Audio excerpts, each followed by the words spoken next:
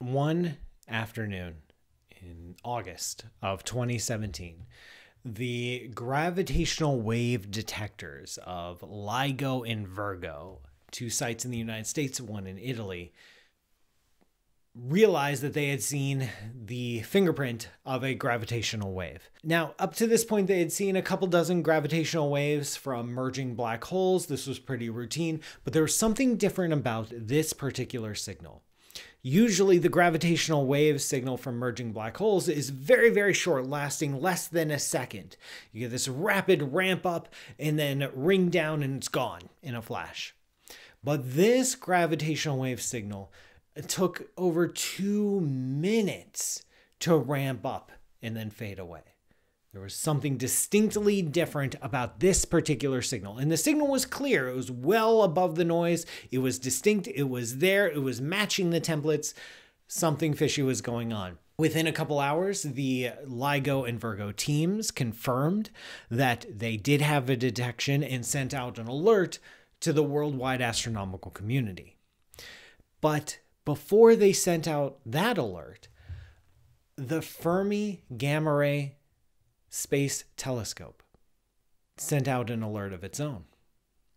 And this alert was from the detection of something called a short gamma ray burst, a flash of intense gamma ray radiation. They had sent out their alert much faster because their data was much, much easier to process. But within a couple hours, after both the gamma ray burst alert and the gravitational wave alert, the astronomical community realized what they were witnessing. They were witnessing something called a kilonova. This kilonova had never been observed before in astronomy, but here it was in the form of a gamma ray burst and a gravitational wave signal.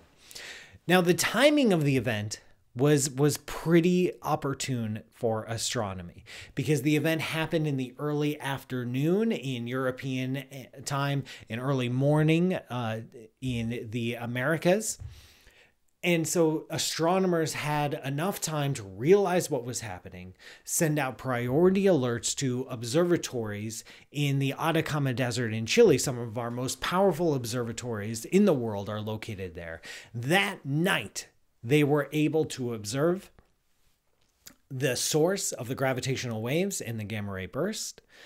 That night, within 11 hours of the event, of the gravitational wave event, we had our first optical picture, visible light picture of this kilonova.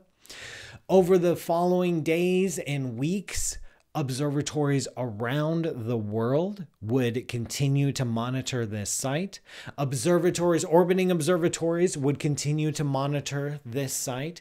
We captured the process of this kilonova happen from the moment it occurred for weeks after in every wavelength of the electromagnetic spectrum, plus gravitational waves. Uh, two months later, astronomers started publishing papers about it. There were a hundred papers ready to go within two months. There was an entire journal dedicated, an issue of a journal dedicated to these results. The summary paper that described had provided a broad overview of all the observations had a co-author list with over 4 thousand names on it, that is about one third of the entire astronomical community writing about this one event in 2017, writing about this kilonova. A kilonova we get the name from the fact that this is more powerful than a nova, about a thousand times more powerful than a nova, but not as bright as a supernova the kilonova process starts with neutron stars. Neutron stars are the leftover cores of massive stars, stars much, much more massive than the sun. When these stars go supernova or are about to go supernova, they form a core of iron in their centers. But the pressures, the intense pressures of the entire weight of that star cramming onto that iron nucleus cause electrons to get shoved into protons, turning them into neutrons, and converting this massive core of iron into a giant ball of neutrons. And that giant ball of neutrons can temporarily halt the catastrophic gra- gravitational collapse, and that's what triggers a supernova explosion. Sometimes the onrushing in the chaos, uh, a black hole can be formed out of that neutron ball, and sometimes the ball of neutrons survives as something we call a neutron star. Neutron stars are some of the most exotic objects in the universe, in some ways, even more exotic than a black hole. Neutron stars, we're talking about an object a few times more massive than the sun, packed into an area no bigger than, say, Manhattan, spinning at up to tens of thousands of revolutions per minute. The gravity around a neutron star is so strong that it can bend light into the path of a circle, like light can orbit a neutron star. That's what we're talking about. So imagine one of these exotic, exotic objects in the universe colliding with another one. It's not going to be pretty. What you get is a kilonova. The actual radiation of a kilonova comes not from the collision itself. Well, the collision releases energy, of course, but it's not super bright. Instead, most of the light, the visible light, comes from the radioactive decay of elements after the merger takes place. After the merger takes place, sometimes if the masses are small enough, you can get just a bigger neutron star at the end. Sometimes you end up with a black hole. Sometimes the whole thing just obliterates itself. We had long thought prior to 2017 that neutron stars did collide, that they were responsible for something we called a kilonova. We had not observed a kilonova yet. We had observed the short gamma ray bursts, and we didn't know what was causing the short gamma ray bursts, which is why we just called them short gamma ray bursts instead of something more specific. We had suspected that it was due to merging neutron stars. We had suspected that merging neutron stars, when they do collide, do have a visible component that is about a thousand times brighter than a typical nova. We did suspect that merging neutron stars would release tremendous amounts of gravitational waves, ripples in the fabric of spacetime itself, but until 2017, we hadn't detected it yet. So you can see why a lot of astronomers were interested in this event. Kilonova are relatively rare.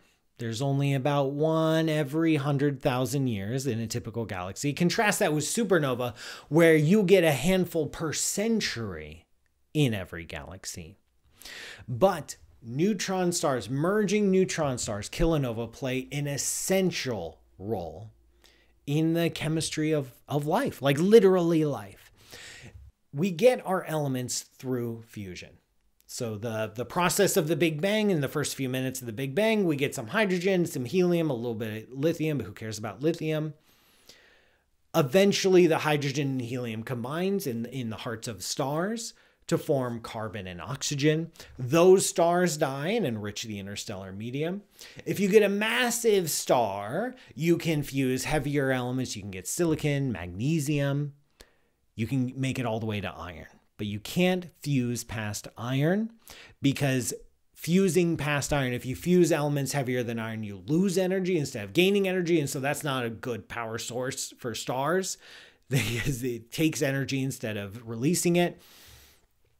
So we get a bunch of heavier elements from supernova explosions themselves, where there's enough energy, enough parts flying around to fuse some of the heavier elements, but it's not enough when you calculate how often supernova go off and how widely they can disperse their elements and, and, how efficient that fusion process is and what kind of elements the fusion the energies and densities uh, uh, prefer you aren't able to fill out the periodic table. You need something else now, that something else is merging neutron stars. That something else is kilonova. Kilonova, even though they're less powerful than supernova, have just the right mixture of energy and density and temperature and time scale to make many of the heavier elements in the periodic table. What happens is that when you have these two balls of neutrons and they collide together, you get all these fragments of neutrons flying around, colliding with each other, radioactively decaying, and it just like turns itself into elements. It's just like a heavy element factory when kilonova go off. We're talking gold, we're talking silver, platinum, xenon you know, if, if you have gold jewelry on right now, that gold was most likely formed from merging neutron stars. The 2017 kilonova event that we observed, we got to see what elements were produced because we saw the aftermath of the explosion. We could take the spectrum, we could figure out the elements. We're talking in that one explosion, like hundreds of Earth's worth of gold and silver, platinum, heavy metals. And I don't mean a hundred times more gold and silver and platinum than the earth has. I'm talking about like a hundred earths made of solid gold and silver and platinum. This is the real deal. Like kilonova are much more rare than supernova, but much more efficient at producing these heavy elements. And we witnessed it, we saw it. We're still following up with observations years later of that kilonova event. The only way to get gold on the, on the earth to get the elements necessary for life itself is to merge neutron stars. Supernova alone just aren't going to cut it. But there was another little treasure in that kilonova explosion in 2017. According to general relativity, which is our understanding of gravity, uh, gravitational waves travel at the speed of light. They just do. That's just what they do. But we know that general relativity isn't the final word on gravity. We know that general relativity is incomplete. General relativity cannot explain what's happening at the center of a black hole. It cannot explain precisely what's happening at the event horizon of a black hole. It cannot explain what's happening in the earliest moments of the Big Bang. We know where general relativity, where a modern understanding of gravity fails and breaks down we can't explain dark energy, the accelerated expansion of the universe. general relativity or theory of general relativity is just silent. It's just like, okay, you got dark energy. I don't know what that is. Uh, do you? Like, that's the best that general relativity has. So we know it's incomplete. We know it's wrong at some level. It's right in a lot of ways, but it's wrong at some level. So over, you know, the past century, basically ever since there's been a general relativity, we've been looking for extensions and modifications to it.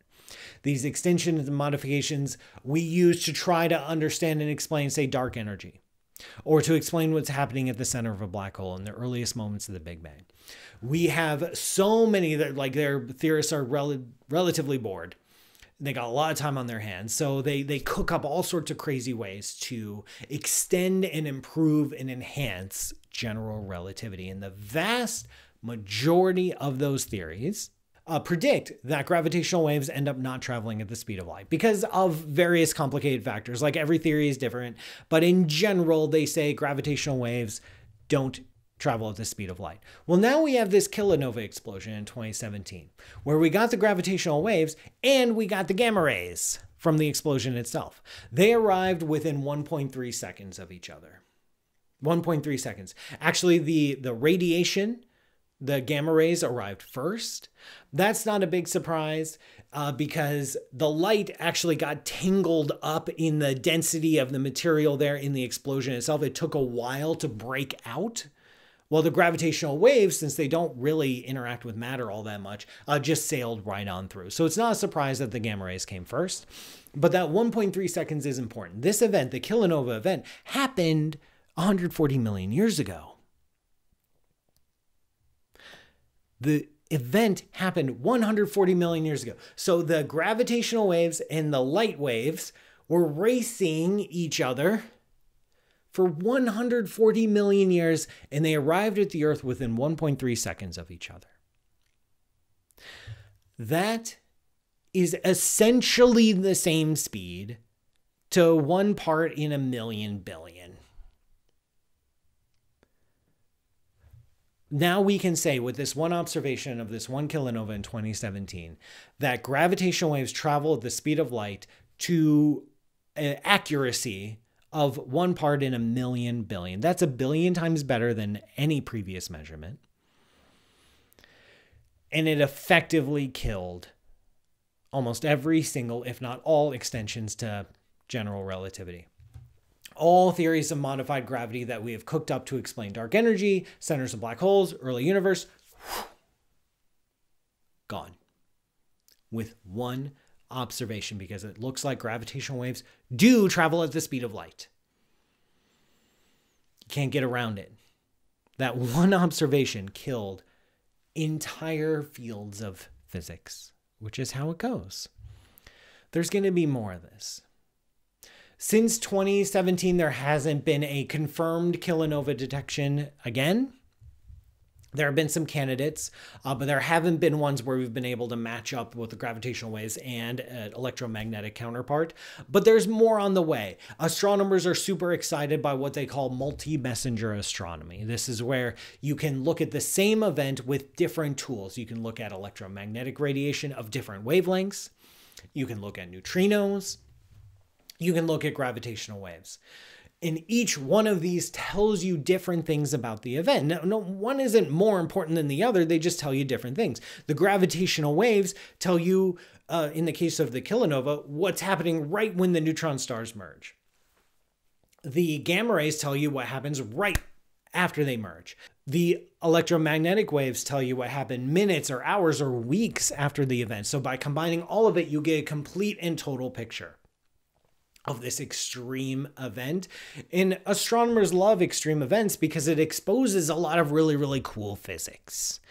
And like, hey, modified gravity, like intense magnetism and electromagnetism, uh, cosmic rays, uh, neutrino physics. Like, like there's so much cool physics happening in extreme events. It's like nature's own laboratory.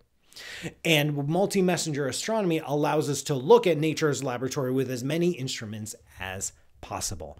So everyone's very excited for multi messenger astronomy. Everyone's very excited for more gravitational wave observatories.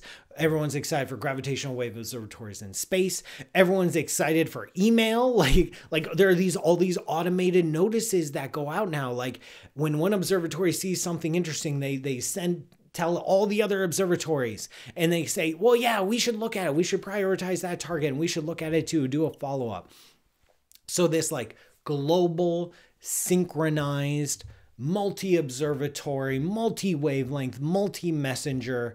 Uh, there's going to be more papers in the future that feature thousands of co authors because everybody who's got a telescope or an observatory and antenna can now participate in this multi messenger astronomy game. And we can learn more about the universe. So, yay.